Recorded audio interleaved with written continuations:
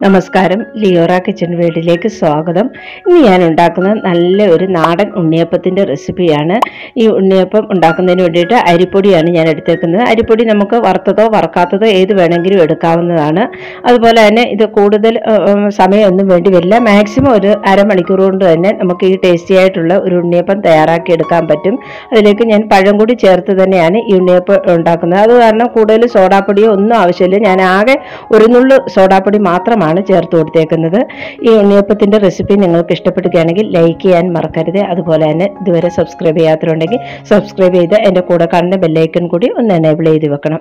ഇനി ഇത് ഉണ്ടാക്കുന്നതിന് വേണ്ടിയിട്ട് ഞാൻ ഒരു കപ്പ് അരിപ്പൊടിയാണ് എടുത്തേക്കുന്നത്. ഇത് പുട്ടിൻ അപ്പത്തിനും ഇടിയപ്പത്തിനും ഒക്കെ എടുക്കുന്ന അരിപ്പൊടിയാണ് എടുത്തേക്കുന്നത്. അത് വറുത്ത അരിപ്പൊടിയാണ് ഞാൻ എടുത്തത്. വറുത്തതോ അരി വറക്കാത്തോ ഏത് വേണമെങ്കിലും എടുക്കാം. അതിന്റെ കൂടെ മൂന്നിലൊന്ന് മെഷർമെന്റിൽ മൈദാപ്പൊടിയാണ് ചേർത്ത് കൊടുക്കുന്നത്. മൈദയോ ഗോതമ്പ് പൊടി ഏത് വേണമെങ്കിലും എടുക്കാം. അതിന്റെ കൂടെ രണ്ട് ടേബിൾ സ്പൂൺ അളവിൽ റവ കൂടി ചേർത്ത് കൊടുത്തിട്ടുണ്ട്. ആവശ്യത്തിന് ഉപ്പ് ചേർത്ത് കൊടുക്കാം. ഇത് ഇത്രയും കൂടെ ചേർത്തതിന് ശേഷം നമുക്ക് നന്നായിട്ടൊന്ന് മിക്സ് ചെയ്തെടുക്കാം. ഒരു കപ്പ് അരിപ്പൊടി മൂന്നിലൊന്ന് മെഷർമെന്റ് ഗോതമ്പൊടിയോ മൈദയോ രണ്ട് ടേബിൾ സ്പൂൺ അളവിൽ റവ. ഇനി ഇതിലേക്ക് മധുരത്തിന് ഞാൻ ഒന്നേകാൽ കപ്പ് ശർക്കരയാണ് പൊടിച്ചെടുത്തേക്കുന്നത്. എന്ന് വെച്ചാൽ ഒരു നൂറ്റി ഇരുപത്തഞ്ച് നൂറ്റമ്പത് ഗ്രാം ശർക്കര കാണും. നമ്മൾ മധുരം എത്രത്തോളം എടുക്കുന്നോ അതിനനുസരിച്ച് ചേർത്ത് കൊടുക്കാം. അതൊരു പാത്രത്തിലേക്ക് ഇട്ട് കൊടുക്കാം. ഇതൊന്ന് ഉരുക്കി എടുക്കണം. ഒത്തിരി പാനിയാക്കേണ്ട ആവശ്യമൊന്നുമില്ല. അതിലേക്ക് ഒരു അര കപ്പ് വെള്ളം കൂടെ ഞാൻ ചേർത്ത് കൊടുത്തിട്ടുണ്ട്. ഇങ്ങനെ ഇതൊന്ന് ഉരുകി വന്നിട്ടുണ്ട്. നമുക്ക് ഇത്രയൊന്ന് ഉരുകിയാൽ മാത്രം മതി. ഇതിനെ ഒന്ന് ഒരല്പം തണുത്തതിന് ശേഷം മാത്രമാണ് നമ്മൾ ഈ കൂട്ടിലേക്ക് എടുക്കുന്നത്. ഈ ചൂടോടുകൂടി ഒഴിച്ചു കൊടുക്കണ്ട. എന്ന് വെച്ചാൽ തീരെ തണുത്തും പോരുത്. ഒരു മീഡിയം ചൂടിലാണ് നമ്മൾ ഈ കൂട്ടിലേക്ക് ഒഴിച്ചു കൊടുക്കുന്നത്. അതിനായിട്ട് ഇങ്ങനെ ഉരുകി വന്നു കഴിയുമ്പോൾ സ്റ്റൗ ഓഫ് ചെയ്ത് കൊടുക്കാം. ഇനി ഇതിന് വേണ്ടിയിട്ട് എടുത്തേക്കുന്നത് മൂന്ന് പാളയങ്കോടൻ പഴമാണ് എടുത്തേക്കുന്നത്. പഴം നന്നായിട്ട് ചേർക്കേണ്ടവരാണെങ്കിൽ മൂന്നെണ്ണം എടുക്കുക. ഇല്ലാന്നുണ്ടെങ്കിൽ രണ്ടെണ്ണം ആയാലും മതി. അത് അവരവരുടെ പഴത്തിന്റെ ടേസ്റ്റിനനുസരിച്ച് എടുക്കുന്നതാണ്. ഇത് നന്നായിട്ട് മിക്സിയുടെ ജാറിലിട്ടൊന്ന് അരച്ചെടുക്കണം. ഈ മൂന്ന് പഴം കൂടി ഞാൻ അന്ന് അരച്ചെടുക്കുകയാണ്. ഇനി നമുക്ക് ഈ കൂട്ടിലേക്ക് നമ്മൾ ആ മാറ്റി വെച്ചിരുന്ന ശർക്കര പാനി ഇപ്പോൾ ഒന്ന് മീഡിയം ചൂടിലായിട്ടുണ്ട്. അത് ഇതിലേക്ക് അരിച്ചൊഴിച്ചു കൊടുക്കാം. അഴിച്ചു അരിച്ചൊഴിച്ചു കൊടുത്തതിന് ശേഷം ഇത് നന്നായിട്ടൊന്ന് മിക്സ് ചെയ്തെടുക്കണം. അഥവാ ഇനി വെള്ളം ആവശ്യമാണെന്നുണ്ടെങ്കിൽ ഞാൻ വീണ്ടും ചെറു ചൂട് വെള്ളം മീഡിയം ചൂടിലുള്ള വെള്ളം തന്നെയാണ് ഒഴിച്ചു കൊടുക്കുന്നത്. അത് ഒഴിച്ചു കൊടുത്ത് വീണ്ടും അത് നന്നായിട്ട് നമുക്ക് ആ ഒരു പരുവത്തിൽ നമ്മൾ കലക്കിയെടുക്കണം. തീരെ ലൂസും അല്ല തീരെ കുറുകിയും അല്ലാത്ത ഒരു പരുവത്തിലാണ് നമ്മൾ ഈ മാവ് കലക്കിയെടുക്കേണ്ടത്. എന്നിട്ട് ഇതിലേക്ക് നമ്മൾ അരച്ചു വെച്ച പഴം കൂടെ ചേർത്ത് കൊടുക്കാം മൂന്ന് പഴം വേണ്ടാത്തവർക്ക് രണ്ട് പഴം ചേർത്താലും മതി. അതൊക്കെ അവരവരുടെ ഇഷ്ടം അനുസരിച്ചാണ്. പഴം കൂടി ചേർത്തതിന് ശേഷം നന്നായിട്ട് മിക്സ് ചെയ്തെടുക്കുക. ഇത് ഇതിനകത്തേക്ക് ഇനി ഒരല്പം വെള്ളം കൂടെ ആവശ്യമുണ്ട്. ഒരു രണ്ട് സ്പൂൺ വെള്ളം കൂടെ ഞാൻ ചേർത്ത് കൊടുക്കുന്നുണ്ട്. അത് നമ്മൾ കലക്കി നോക്കിയതിനനുസരിച്ച് നമ്മൾ ചേർത്ത് കൊടുക്കണം. ഇപ്പം ഞാൻ രണ്ട് സ്പൂൺ വെള്ളം കൂടെ ചേർത്ത് കൊടുത്ത് ഈ ഒരു ഭാഗത്തിലാണ് കലക്കി എടുത്തേക്കുന്നത്. ഇതിന് നമ്മൾ അരമണിക്കൂർ റെസ്റ്റ് ചെയ്യാൻ മാറ്റി വെക്കും. അപ്പോഴത്തേക്ക് നമുക്ക് കോരി ഒഴിക്കേണ്ട പരുവത്തിൽ കുറുകി കിട്ടും. അരമണിക്കൂർ കഴിയുമ്പോൾ ഇതൊന്ന് നന്നായിട്ട് ഒന്നുകൂടെ ഒന്ന് കുറുകി കിട്ടും. ആ ഒരു പരുവത്തിലാണ് ഞാനിപ്പോൾ കലക്കി എടുത്തേക്കുന്നത്. ഇനി ഇത് അടച്ചു വെച്ച് അരമണിക്കൂർ റെസ്റ്റ് ചെയ്യാനായിട്ട് മാറ്റി വെക്കാം. ഈ സമയത്തേക്ക് നമുക്ക് ഇതിനാവശ്യമായിട്ടുള്ള തേങ്ങാക്കൊത്ത് വറുത്തെടുക്കാനാണ്. തേങ്ങാക്കൊത്ത് വേണമെന്ന് നിർബന്ധമൊന്നുമില്ല. വേണ്ടുന്നവർ മാത്രം ഇട്ടാൽ മതി. അതൊന്നും കുഴപ്പമില്ല. ഇതിലേക്ക് വറുത്തെടുക്കാനായിട്ട് അല്പം നെയ്യാണ് ഞാൻ ഒഴിച്ചു കൊടുത്തേക്കുന്നത്. അതിലേക്ക് ഒരു പിടി തേങ്ങാക്കൊത്താണ് ഞാൻ എടുത്തേക്കുന്നത്.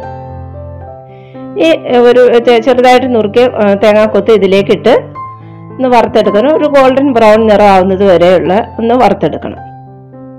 ഇപ്പം ഇത് നന്നായിട്ട് തേങ്ങാക്കൊത്ത് മൂത്ത് വന്നിട്ടുണ്ട്. ഇത് സ്റ്റൗ ഓഫ് ചെയ്ത് എടുത്ത് ഈ ചൂടോടുകൂടി നമ്മൾ ആ ഉണ്ണിയപ്പ കൂട്ടിലേക്ക് ഒഴിക്കുന്നില്ല. അപ്പം മാവ് അങ്ങ് വെന്തു പോവും. അത് വരാതിരിക്കാൻ ഒന്ന് തണുത്തതിന് ശേഷം മാത്രമേ ഒഴിച്ചു കൊടുക്കുന്നുള്ളൂ.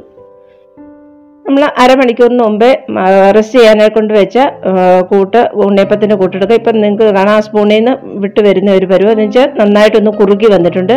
ഇതാണ് കറക്റ്റ് പരുവത്തിൽ നമുക്ക് ഉണ്ണിയപ്പം കുരിഴിച്ച് കൊടുക്കാൻ പറ്റിയ ഒരു പരുവം.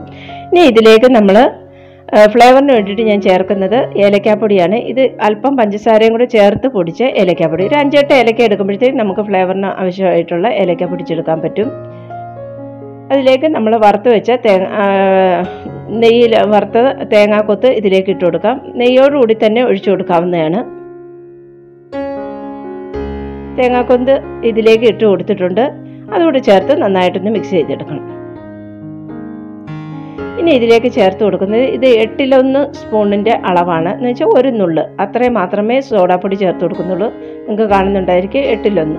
അത്രയും മാത്രമേ ഞാൻ ചേർത്ത് കൊടുക്കുന്നുള്ളൂ. കൂടുതൽ ചേർത്ത് നമ്മൾ പഴം ചേർത്ത് കൊടുക്കുമ്പോൾ നന്നായിട്ട് നമ്മൾ ഉണ്ണിയപ്പം അത് അരമണിക്കൂർ റെസ്റ്റ് ചെയ്യാനൂടെ വെച്ച് കൊടുക്കുമ്പോഴത്തേക്ക് അതുപോലെ തന്നെ ആ ചെറു ചൂടി വെള്ളത്തിൽ നമ്മൾ മാവ് കലക്കി എടുക്കുമ്പോൾ അത് നന്നായിട്ട് തന്നെ അത് കറക്റ്റ് ടെക്സ്ചറിൽ വരും. ഇനി ഇത് നമുക്ക് ചൂടായ ചട്ടിയിലേക്ക് ഒഴിച്ചു കൊടുക്കാം. ആ ചട്ടി നന്നായിട്ട് ചൂടായി വരണം നമ്മൾ എണ്ണ ഒഴിച്ചിട്ട് പാകത്തിന് എണ്ണ ഒഴിച്ചിട്ട് ചട്ടി നന്നായിട്ട് ചൂടായതിന് ശേഷം മാത്രമേ നമ്മൾ ഇത് ഓരോ സ്പൂണായിട്ട് ഒഴിച്ചു കൊടുക്കാവൂ. നമ്മൾ എടുക്കുന്ന സ്പൂണൊക്കെ കറക്റ്റ് ആണെങ്കിൽ ആ ഒരു സ്പൂൺ ഒഴിക്കുമ്പോൾ തന്നെ കറക്റ്റ് പാകത്തിൽ അത് നിറഞ്ഞു വരും. അത്ര ആ ഒരു പാകത്തിൽ നമുക്ക് ഒഴിച്ചു കൊടുക്കാം. നമ്മൾ ഇത് ഒഴിച്ചു കൊടുത്തതിന് ശേഷം തീ അഡ്ജസ്റ്റ് ചെയ്യണം. എന്ന് വെച്ചാൽ മീഡിയം ടു ലോ ഫ്ലെയിമിലേക്ക് മാറ്റണം. കൂടുതൽ തീ അഡ്ജസ്റ്റ് ചെയ്യുന്നത് ഉണ്ണിയപ്പത്തിന്റെ ഒരു ടെക്സ്ചറിനെ ബാധിക്കും. അത് ഇങ്ങനെ ഒരു സൈഡൊന്ന് മുരിഞ്ഞു വരുമ്പോൾ തിരിച്ചിട്ട് കൊടുക്കാം. ഈ ഇതുപോലെയുള്ള മെറ്റലിന്റെ ചട്ടിയൊക്കെ ആകുമ്പോൾ ആദ്യത്തെ നമ്മളൊന്ന് എടുക്കാനെ കൊണ്ട് കുറച്ച് ദിവസമായി നമ്മൾ ഉണ്ണിയപ്പം എടുക്കാതിരിക്കുന്നതാണെങ്കിൽ ഒന്ന് വിട്ടു വരാനെ കൊണ്ട് ഒരു അല്പം ഒരു പിടുത്തം തോന്നിക്കും. പക്ഷേ ആദ്യത്തെ ഒരു ട്രിപ്പ് കഴിയുമ്പോൾ നന്നായിട്ട് ഈസി ആയിട്ട് ഇളകി വരും. ആദ്യത്തേന് മാത്രം നമ്മൾ ഇതുപോലെ നിളക്കി കൊടുത്താൽ അതങ്ങ് തിരിഞ്ഞ് വീണോളും. ഇതുപോലെ ഒരു സൈഡ് മൂത്ത് കഴിയുമ്പോൾ അടുത്ത സൈഡ് അങ്ങനെ ഒന്ന് രണ്ട് പ്രാവശ്യം തിരിച്ചും മറിച്ച് കിട്ടുവാണ് നമ്മൾ ഉണ്ണിയപ്പം എടുക്കാനൊക്കെ ഉണ്ട്. അങ്ങനെ അല്ലെന്നുണ്ടെങ്കിൽ പുറം ഹാർഡായിട്ടിരിക്കും നമ്മുടെ ഉണ്ണിയപ്പം തീ കൂട്ടിയിട്ട് കഴിഞ്ഞാൽ ഉണ്ണിയപ്പം ആകം വേഗത്തുമില്ല അതേസമയം നമ്മൾ ഇതുപോലെ തിരിച്ചും മറിച്ചിട്ടുവാണെങ്കിൽ പുറം അധികം ഹാർഡാവാതെ തന്നെ നല്ല സോഫ്റ്റ് ആയിട്ടുള്ള ഉണ്ണിയപ്പം ഉണ്ടാക്കിയെടുക്കാൻ പറ്റും. അകവും നന്നായിട്ട് വെന്ത് നല്ല അധികം എണ്ണയൊന്നും വലിച്ചെടുക്കാത്ത നല്ല സോഫ്റ്റ് ആയിട്ടുള്ള ഉണ്ണിയപ്പം ഇതുപോലെ ഉണ്ടാക്കിയെടുക്കാൻ പറ്റും. ഈ- ഒരു ഗോൾഡൻ ബ്രൗൺ നിറം ആകുമ്പോൾ നമുക്ക് എണ്ണയിൽ നിന്ന് കോരി മാറ്റാം.